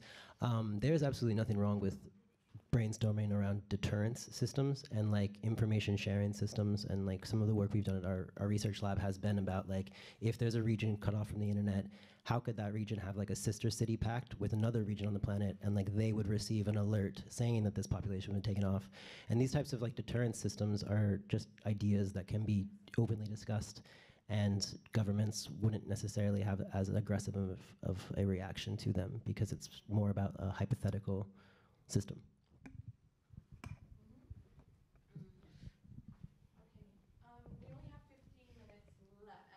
So these paragraphs get to some of the meat, right? Or the Yeah, so there's um, there's a need to articulate principles to guide regional and national approaches to data protection and governance. Um, leveraging data and cross-border data flows was emphasized while finding a balanced approach between free flow of data and data protection. Any thoughts on that? They managed to talk about data without mentioning privacy or surveillance. Okay, so we can yeah. Any thought? Any? The note is Mm. data protection paragraph is awful. That's the note. It's not good. Rewrite in full. Okay. Um, and then there's convergence around the potential for a compact to promote digital trust and security and to address disinformation, hate speech, and other harmful content. Um, online content, a GDC could advance transparent and responsible design and application, including human rights based approach mm, of digital technologies. In this regard, the code of conduct for information integrity on digital platforms that is being developed will be important. Okay, thoughts? Jan seems to have a lot to say. What do you think about the? Uh, Hi. Um, yeah, uh, addressing di- disinformation, hate speech, and harmful content. None of these things mean anything legally or have any specific definition. So this means um, very little, unfortunately. Um, so I think that needs to be. I mean, that's what we. Um, and with Article 19, and that's what we always say that these are like not legal terms. We use them sometimes, but we always use them in like parentheses because it's just unclear. Except maybe hate speech, um, as in incitement to violence. None of these words mean anything, and you can restrict a lot um, on that basis. I would just say that there's also concerns about using framings of like digital trust and security to address disinformation, hate speech, and that it can easily be used to legitimize overly broad actions or, or regulation um, from governments. Okay, great. Yes, okay. Um, also, very needs to be redrafted paragraph. just Um, yeah. one comment on that. Um, no, I just wanted to add one comment on that because it seems, or some UN agencies are believing that a lot of the work from the um, Internet of Trust debate on UNESCO is converging to the Code of Conduct space. So there might be at some point a discontinuation of the UNESCO, which is ending, right? Like they haven't announced the end already, but um, there is an internal working group on this topic exclusively with UNDP and, and some other spaces, and also talking about elections that is going to converge to this um, discussion as well. So it's one of the key areas of discussion for the future. Okay. Um, is this on this point? Yep. Okay. And then we will move on. hmm Go ahead. Um, sorry, I mean, yeah, I, I, that whole paragraph has got problems, but just specifically on the security question, um, maybe one uh, very specific tweak would just be changing security to safety. Um, I think when you talk about disinformation and hate speech and stuff, uh, thinking of it from a safety perspective rather than a security perspective is, is uh, I mean, that sounds like actually maybe what that was supposed to say. Um, Okay. So yeah. It also it doesn't use a term expression or free expression. Or Yeah. Positive. Okay, great. Thank you for that feedback. So the artificial intelligence um, paragraph is quite long. I wouldn't read it in full, but it talks about the benefits of AI um, in enhancing productivity, value creation, and wider digital economy. There is a need to further a common understanding of the risks entailed. Forms of regulation, standards, and guardrails are mentioned as potential means to address some risks, emphasis on the need for a human centric approach, as well as transparent and equitable risk based approaches. Any thoughts? Any burning reactions? Any? Yes. Okay, just two at the back, and then we'll. I'm afraid we have to move on. Um, I would just say that it's concerning that human rights isn't included here as the approach. Instead, so we've got like human centric, which is great, but I think we really need to be pushing for human rights as the, the underlying standard. Yeah. Human rights as I, th- underlying. I, f- I think that together with human rights oriented, there should be like even w- workers led AI governance. It's really missing the labor within it. And I think it's a consensus in terms of algorithm control, uh, workers' agency, or even uh, the micro work, which are the building blocks for AI, should be considered also. Great, thank you for that. Um, okay, and yes.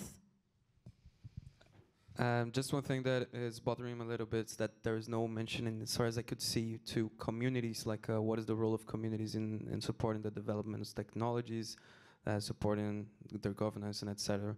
Especially when we consider like indigenous communities uh, or the traditional ones. I think that's fundamental.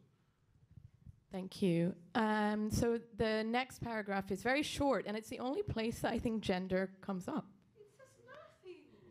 And it just says addressing gender digital divides is important. Yeah, this is just very like placating words. um, so, just uh, requesting more detail here about what exactly gender digital divides are they looking at. So, how is technology gender based violence included in here? Um, access to smartphones and access to internet. Um, what else? Inclusive technology, how are cultural norms placating in societies and how women have access to phones, just kind of across the spectrum.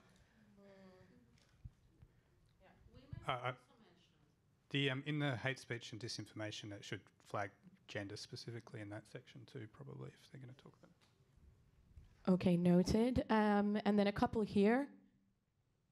Yeah, that was more or less the same. I wanted to say it's not like we are talking only about a digital gender divide. It's it's a cross-cutting issue across all the other issues that are mentioned in the paper, and therefore it's. I can't believe we have only these two lines about uh, a divide. We need to we need to highlight that. Yeah, no, I agree. It's um. Sorry, this is not about me. What I think, but uh, yeah. Thank you. Yeah, I, I also find it reductionist that uh, when it comes to women and and these issues, it's it's always uh, you know it it's reduced to um, digital equality and this digital divide. While it it transcends that, and I think in addition to it, there should be a recognition, an outright recog- recognition that marginalized communities are impacted by all of these issues disproportionately and differently, and therefore they should be prioritized. So beyond the gender, I think we should address that. Okay, so that mainstreaming, cross-cutting, um, yeah, it's, it's like you said, very reductionist, and will reflect that. Any? Sorry, did you? Intersection, intersectionality. Okay, thank you. Uh, yeah, that might have been our shortest intervention. No, Yeah. just one word there. Okay, but short, short and important. That's good.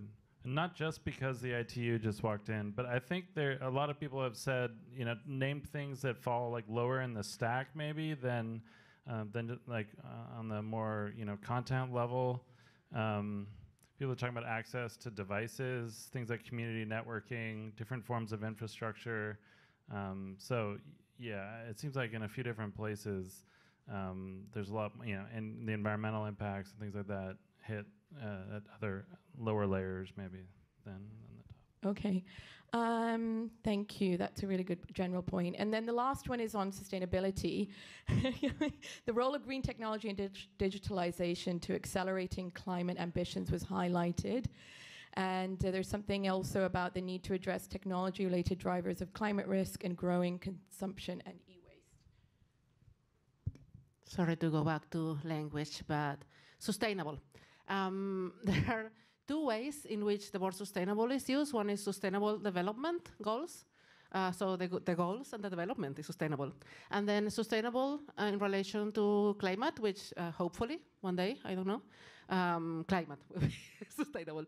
But there is absolutely nothing, and uh, in all that talk about uh, the global, uh, um, I'm sorry, the digital public infrastructure, about the su- sustainability of the technology itself.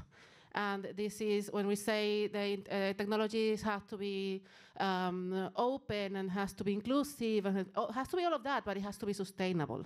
Because we come in into these countries and we say, oh, this country is not developed. Let's give them mirrors and internet.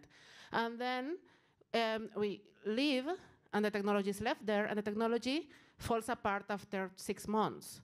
And this is what we keep doing over and over and over and over. And this is nowhere at all. Okay, thank you for that. We can reflect that. And um, just coming on to the last part of our session, we want to talk about how we reflect all of this feedback. One more online. sorry. Um, are you able to facilitate that? Uh, thanks.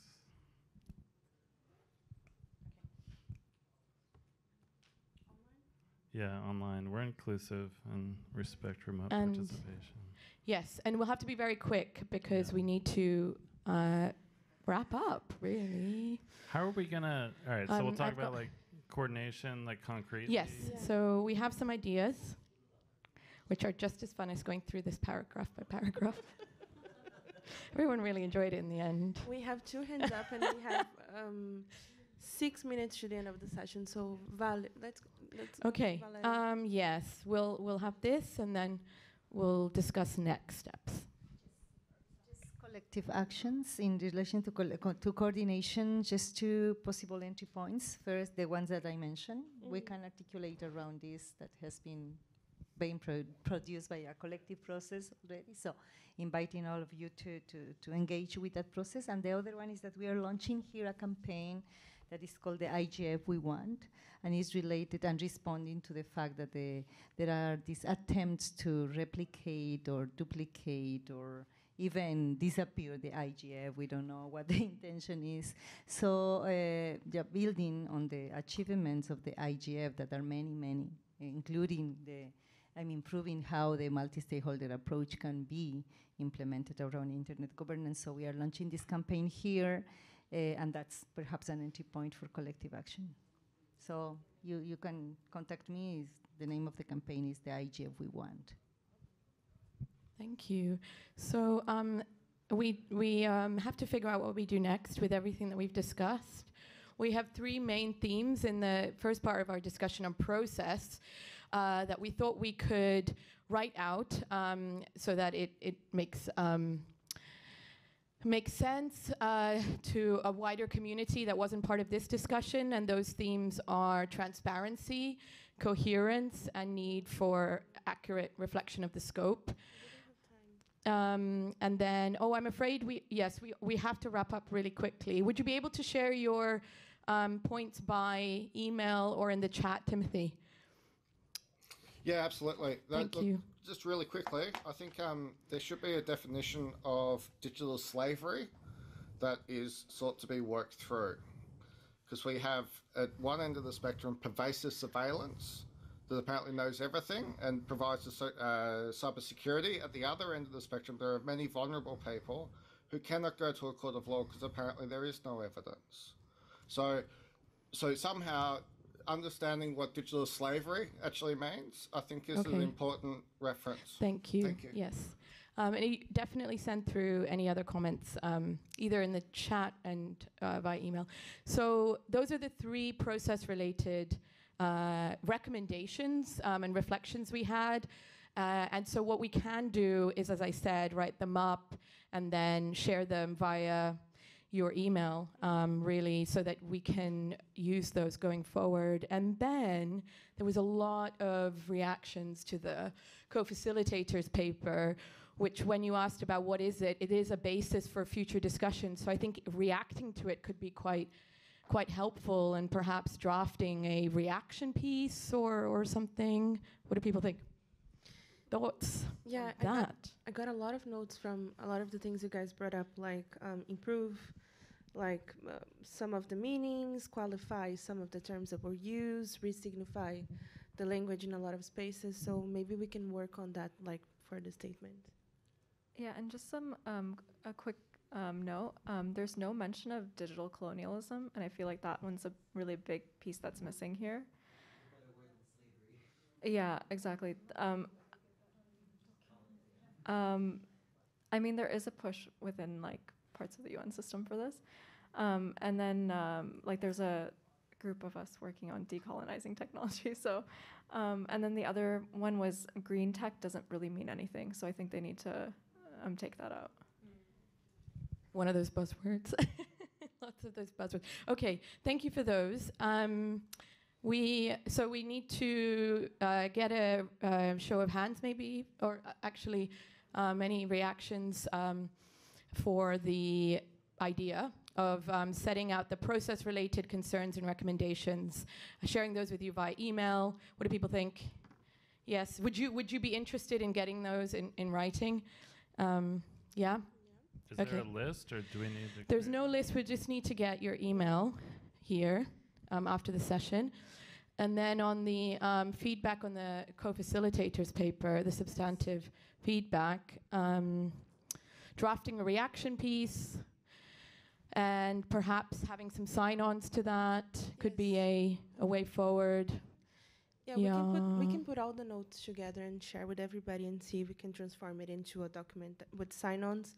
But I would just like to flag interventions in the main sessions as well. It's really key that we bring some of these issues to the main sessions. Otherwise, co-facilitators that are here and are listening to the meeting and a lot of the sessions will think it's fine, it's smoothless. So it's yeah, important to That's complain. a great point because they are here and in listening mode.